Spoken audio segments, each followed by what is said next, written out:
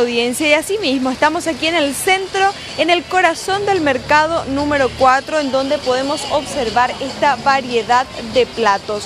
Pollos al tatacuá, chipaguazú, sopa, eh, lengua la vinagreta y otros platos más que podemos venir a comprar, como ya bien lo decía Gladys, si es que no tuvimos tiempo de cocinar o si no tenemos los dotes culinarios de hacer una comida así casera.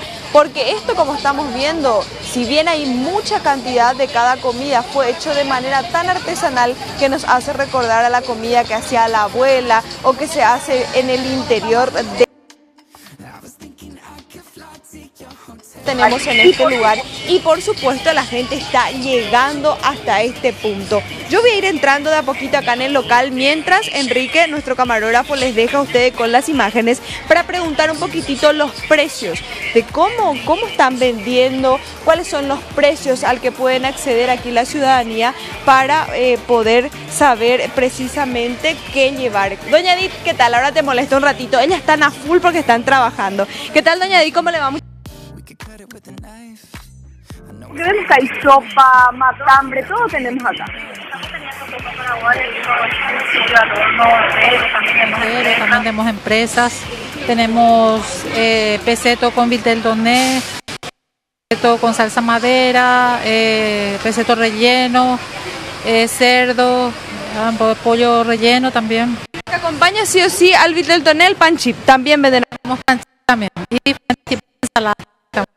Sí, también. O sea, uno si no pudo hoy cocinar puede venir o lo lleva todito de acá. Sí, estamos teniendo todo para los que quieran tener un una rica cena y son frescos. Los productos que estamos teniendo se, se preparan no, no estamos teniendo productos estacionados, son todos productos frescos que se están elaborando a medida que van viniendo la gente. Se ve que es de manera muy casera, muy de la casa parece.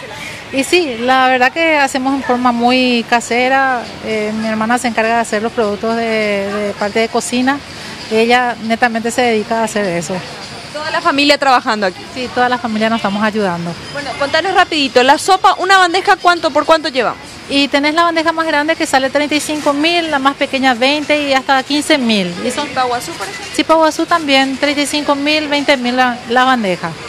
Y ahora, ¿el pollo cómo, cómo hacemos? ¿Es por kilo? ¿Cómo? El pollo tenemos un pollo grande que está a 40 mil guaraníes, que más o menos tiene 2 kilos. Después tenemos los muslos que están a 8 mil y 10 mil guaraníes la porción de muslos.